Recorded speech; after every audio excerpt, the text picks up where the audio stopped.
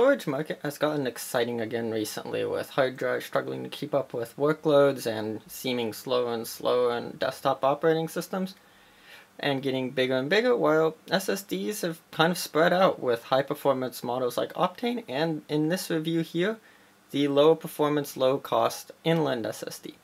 This is a $65 480 gigabyte SSD which is on about as low as you can get for a new SSD. On the outside, the SSD and box are quite boring. The box just contains the drive with a plastic holder. There's no manual, nothing else inside it, no 3.5 inch adapter or USB at all.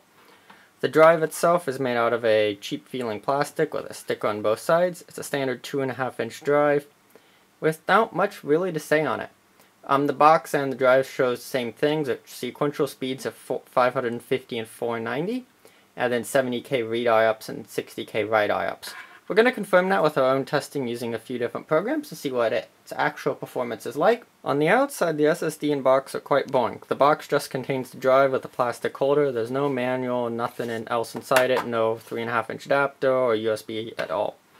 The drive itself is made out of a cheap feeling plastic with a sticker on both sides. It's a standard 2.5 inch drive without much really to say on it. Um, the box and the drive shows the same things, sequential speeds of 550 and 490, and then 70k read IOPS and 60k write IOPS. We're going to confirm that with our own testing using a few different programs to see what its actual performance is like. Here's a look at the inside of the drive. This here is just a bare board, but inside of the actual 2.5 inch drive we see it is quite small.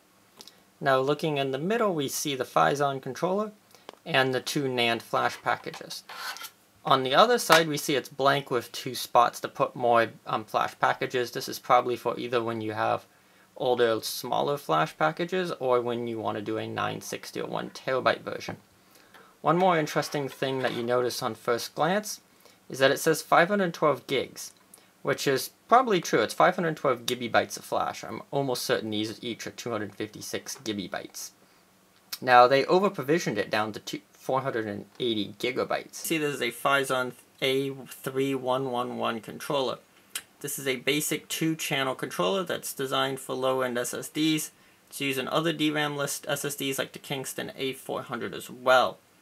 Um, on their site, it says it supports up to 550 read, 500 write, with 95 KIOPS read and 85 KIOPS write, which is interesting that this drive is actually less than that. The flash package itself is pretty bare looking. I can't tell anything about this chip just doing some googling online. Now that we've taken a look at the drive, let's see how it performs in benchmarks. I'm going to use FIO and Linux for some more in-depth testing of different workloads, and then I'm going to just try running it as a boot drive in Windows and just see if it kind of holds up and feels snappy. This is the results of GNOME Diskmark, so this is the built-in benchmark for GNOME disks. Basically, it shows us we're getting 569 megabytes per second read and about 500 megs per second write, which is actually over spec. And for random access time, we're seeing 0.05 milliseconds. That's actually pretty good numbers. That's better than the spec. Let's see how FIO testing goes. Here's a look at my FIO benchmark suite that I created. On the left, we have an Intel S3500 that's 120 gigs. Then we have an 8 terabyte WD Red. Then we have a Micron 1100 2 terabyte, which is basically the same as an MX300. And then we have the inland SSD. Looking at sequential reads, we see all the SSDs do quite well and a good amount better than the hard drive. Sequential writes, the um, Micron does much better than everything else. The Intel drive doesn't have an SLC cache as it's an enterprise drive. The hard drive just does worse and the inland SSD does worse, presumably because it's TLC and the buffer is struggling to keep up, as all the tests ran in sequentials with no delay. The next test is a um, 8K Q16 read-write test, and we see the inland SSD struggles compared to the other drives, presumably due to the lack of a buffer.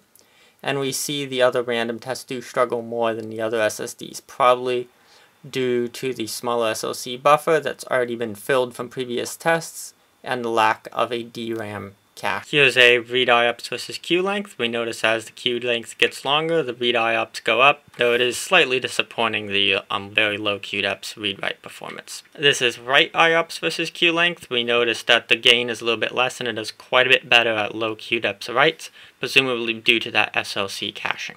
This is the drive performance in IOPS versus the um, percentage of read and write, with left being 100% read and right being 100% write. Um, we notice that it does the very best on both ends when it's either or, and it does slightly better as we go towards the more right-oriented side. One thing I noticed on this drive is performance would suddenly drop off, off after a period of writing. I set up the drive to write about 450 megabytes per second, and after about 20 seconds it fell to a down 100. We see this exact same pattern if we look at IOPS, going from about 60,000 write IOPS to about 15,000. This is due to the SLC buffer being filled up. Based on my estimates, the buffer is around 10 gigabytes. While this buffer looks like a huge drop-off in these tests, in reality, most users aren't going to actually be writing this much data, and if you are, look towards a higher-end drive, which does much better with this type of workload. Here's a look at the smart data of the drive on HDTune. It's quite boring looking. The only disappointing thing to me is it doesn't show bad block count. I also did a quick test with the amount of write cycles. That number seems to be if you use decimals in gigabytes. Other than that, it's quite boring, doesn't really tell you too much. And here's the real life performance, so I'm going to first do a restart on this system just to get an idea of the reboot times. And then we're going to just take a look at how fast some common applications open. Now, from my little bit of testing, it's definitely slower than a um, high-end SSD, but it's not bad. This is also a bit older of a system. It's an AMD FX 8350 system I'm using here. But it's not what I consider to be awful. And I also ran a Crystal Disk Mark run here. It's about fine, slightly lower. The read and write speeds on Crystal Disk Mark are worse than the rated ones, but all these disk benchmarks are a little bit off and slightly different. So there's the boot up time. It's really not bad. And if I, here's a program that probably we all use quite often, Google Chrome on a new setup. It definitely took a second, but now it's open. So now Google Chrome's open. It took a second. I've seen faster drives, but it's certainly not bad. Blender's relatively lightweight. And it's taking some time, and now it's open. For a fresh boot up, that's not horrible. If we look at like Task Manager for drive utilization and open like Firefox, where you can see it peaks for a second or two, and then it goes back down. And there's nothing really else to note. Updates are pretty fast on here. It's a lot better than any hard drive. You can kind of feel it's a bit slower than really high-end SSDs, but it's not bad. In conclusion, it's a great value SSD. For 65 bucks, it's hard to say no to, especially if you don't already have one. It's a great drive for storing stuff like games on, where you want it a lot faster than a hard drive, and it definitely is much faster than a hard drive, but without much of the extra cost. And now let's go look at the downsides. So performance isn't stellar, but if you need the highest performance drive, you probably shouldn't be looking here here. The other thing I think is the smaller manufacturer and it is possible issues. Because it's cheap, they probably cut corners somewhere.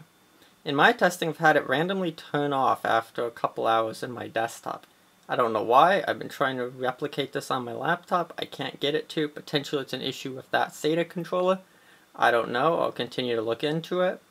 Endurance, they might be using cheap NAND that won't last too long, I'll let you know if I have other issues with it.